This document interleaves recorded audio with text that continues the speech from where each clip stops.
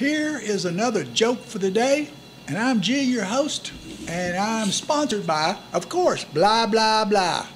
And this is episode number seven out of a sequence of uh, series, oh, uh, 5,650,000. okay, episode seven. Let's, let's, let's get on to the joke. My wife was hinting about what she wanted for our upcoming anniversary.